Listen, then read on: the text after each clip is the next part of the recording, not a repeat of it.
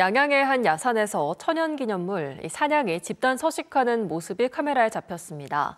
민간단체가 수년간 보금자리를 마련해 보호한 덕분인데 보다 체계적인 관리가 시급합니다. 조기현 기자의 단독 보도입니다. 사냥 무리가 운마간에서 한가롭게 시간을 보내고 있습니다. 사냥 두 마리가 서로 머리를 맞대고 장난을 치고 한 마리가 물러서자 이내 다른 사냥이 상대로 나섭니다. 한 마리는 운막 안에 있는 소금을 먹느라 정신이 없습니다.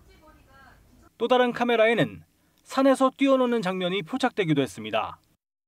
네, 이곳 미천굴에 지금 한 18마리 정도의 사냥이 서식하고 있는데 앞으로 이 사냥이 좀 더 많이 활동할 수 있도록 저희가 서식지를 수시로 확인하고 있습니다.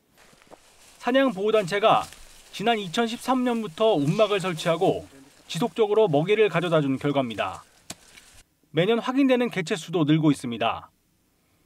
사냥은 천연기념물이자 멸종위기종 1급으로 우리나라에 800마리 정도만 서식하고 있습니다. 하지만 일부 국립공원에서만 개체 보호가 이뤄질 뿐 자치단체 차원의 보호나 지원은 전무합니다.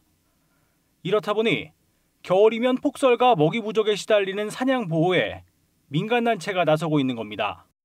공항에서는 각 지 에다가 줍니다. 근데 이제 기존에 있던 것만이라도 그 액수만 줘도 지에서는 뭐 충분히 할 수 있다라고 생각했는데 올해는 좀 많이 준다고 하니까 걱정이 좀 많습니다. 지난 2010년 울진에서 사냥 25마리가 집단 폐사했고 최근 2년 사이 강원도에서도 폐사한 사냥이 19마리에 달하는 상황. 자치단체 직접 관리 등 민간 지원을 통한 보호 등 대책이 시급합니다. 지원 뉴스 조기현입니다.